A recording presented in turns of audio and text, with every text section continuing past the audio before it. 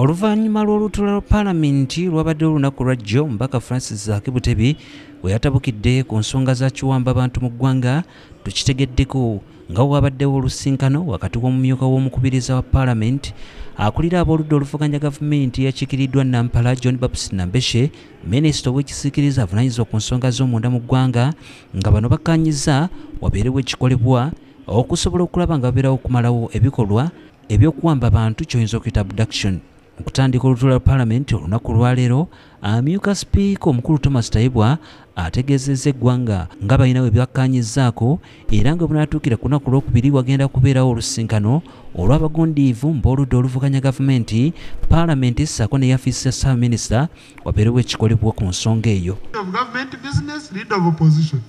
We agreed we have a meeting on Tuesday to follow up on our previous meeting.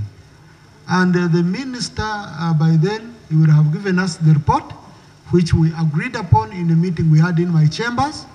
Number two, ba- uh, based on that, the minister will come on the floor and explain.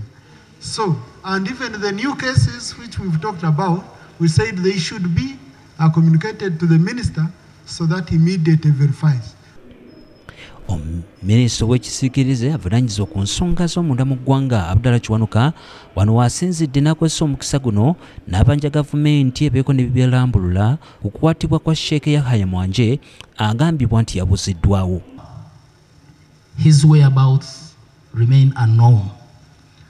Right, right Honorable Speaker, we have been complaining about this issue of abduction for quite some time, I think over two years. But nothing has been done. Minisita omubeezi avunaanyizibwa ku nsonga z'omunda mu ggwanga general david muhoozi akakasizza nga ono waali mu mikono gya gavumenti The sheikh is with the military. He was picked by CMI, and I hope eventually he should be produced in court. joseph serwoza sinzidde ku paalamenti